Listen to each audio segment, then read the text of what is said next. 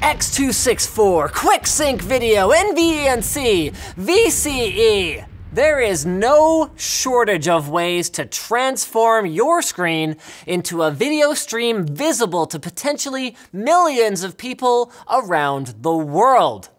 For the mad ballers among us, a second PC dedicated to that task is the undisputed king of performance and quality. But how do the rest of us get our streams going without crossing them up? AMD claims to have the best solution. But do they? Welcome to a new episode of Manufacturers Say.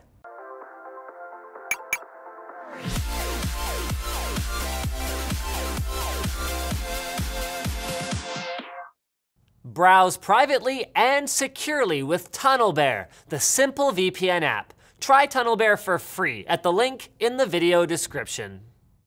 One of AMD's top marketing points is that the 16 threads in their Ryzen 7 CPUs allow gamers to dedicate ample CPU resources to both gaming and video streaming coding without impacting the performance of either, since games won't make use of all 16 threads, and neither will an encoder. Meanwhile, one of Intel's selling points for their consumer level chips is their integrated graphics processor and its ability to use quick sync video technology to encode a video stream without impacting the performance of their CPU.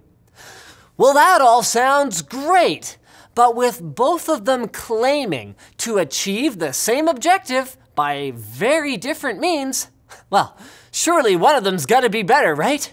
Well, predictably enough, AMD says that their way, software encoding is superior, and the traditional wisdom would back them up on this one.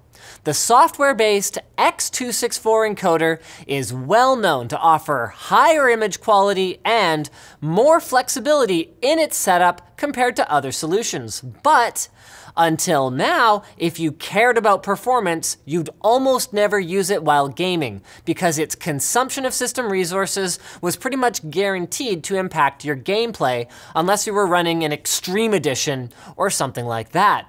But with more processing cores at Ryzen 7's disposal, it could be that AMD's onto something. Meanwhile, what are the other guys doing different here? Intel's QuickSync Video, and for that matter, NVIDIA's NVENC and RTG's Radeon Video Codec engine are all what are known as dedicated hardware-based encoders, which present an interesting conundrum. In theory, you actually stand to lose virtually no performance, which is cool, but you're forced to use the optimized settings that are baked into the hardware, meaning that you can't really tune anything beyond their presets, besides simply increasing the raw bitrate to improve quality. So finally, back to the big questions. How much does the encoder matter for quality? Is Twitch's new maximum of 6 megabits per second enough that it won't really matter anymore? Are any of these solutions really able to untether you from the second PC and let you stream without impacting performance? Well, we touched on this from AMD's perspective in our Ryzen 7 review, which you can check out here. And we asked you guys at that time if you wanted something more in-depth. And since you did ask so nicely, your wish is our command. We're gonna focus on two games for our testing. First, Ashes of the Singularity's CPU benchmark. Not because it's a hot game on Twitch right now, but for technical reasons. It stresses the CPU and has a good mix of slow-moving terrain with lots of small, fast-moving projectiles that are great at introducing blocky artifacts during encoding. The second will be the For Honor benchmark, with its sweeping cameras and loads of special effects. We know, again, most people aren't streaming these games, but canned benches are much more repeatable across our platforms, and both of these titles represent a realistic gaming load that is more demanding than today's popular esports titles. For our encoders, we've used common Twitch streaming bitrates and resolutions for all of our comparisons. You'll note that 1080p 30 is technically more data to cram into our lower bit rates than 720p 60, but the higher frame rate of 720p 60 should better highlight motion artifacts in our encoders. So any CPU, even one with onboard graphics, can use X264 encoding, but we observed in our testing that not all are created equal in this regard. We found that AMD's Ryzen 7 managed to, oh, excuse me, oh, it just stuck up on me. Managed to avoid dropping frames throughout our testing at a higher quality preset than either of Team Blue's solutions. In some cases, even some of our hardware encoders needed lower presets. So to find out how these differences in encoding settings affect real world image quality, we captured a lossless reference recording with our Blackmagic Intensity Pro and used it for comparison. So we can see some subtle differences here. Ryzen manages to retain smaller details that get smeared out on Team Blue at their very fast and super fast settings compared to Ryzen's faster. This not only translates into better picture quality overall, but also contributes to better quality when Twitch then re-encodes it for its various quality options. Moving on, here we see our hardware encoders at 1080 30p at 2500 kilobit per second alongside our Ryzen X264 footage. Of the four, X264 on Ryzen appears to be the least likely to lose small projectiles in Ashes of the Benchmark. NVENC and QuickSync don't seem half bad here, to be clear, but they do block up more often and lose finer details when a lot's going on at once. RTG's AMF encoder, on the other hand, sorry Radeon fans, but uh, Things get more interesting again at 720p 60.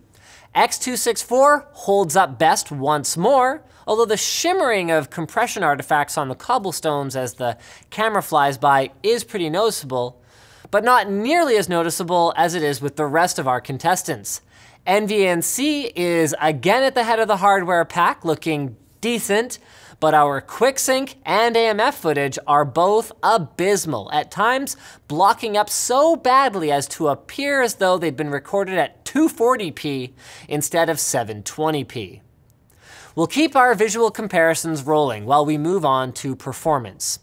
With X264, we see a respectable showing from our Ryzen 7 1800X, averaging about a 5 to 10% performance penalty on the faster and very fast presets over our baseline reading.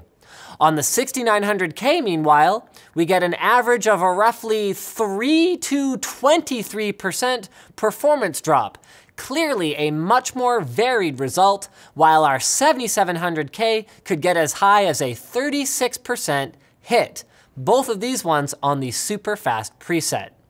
AMD's high-speed Infinity Fabric Interconnect secret sauce for Ryzen's video encoding while gaming performance looks like it's working so far.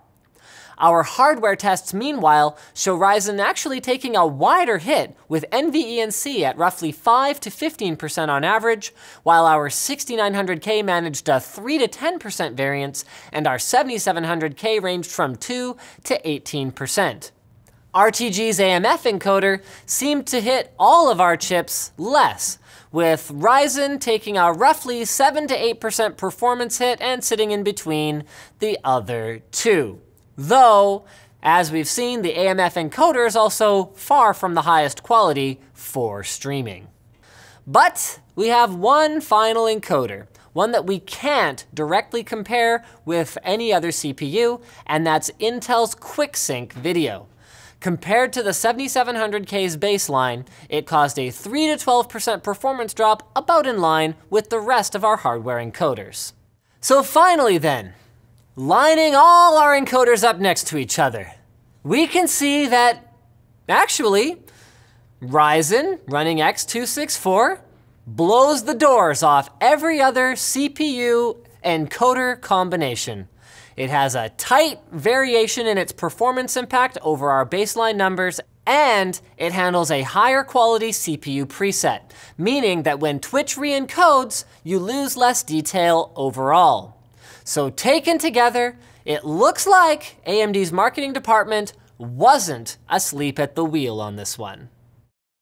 Squarespace takes the hassle of building a website for your small business, for your portfolio, for the, for the sports team that you help run, and it throws it all in the garbage because Squarespace is super easy to use. It's only 12 bucks a month to start. You get a free domain if you buy Squarespace for a year. They offer 24-7 support via live chat and email, and all you pretty much gotta do, you might not even need it, is pick one of their gorgeous templates, put in all your own text copy and all your own images, and boom, you've got a beautiful, functional website that you can spend your time updating rather than spending your time fighting with compatibility of. So check it out at the link in the video description and start a free trial with no credit card required, then use offer code LTT to save 10%.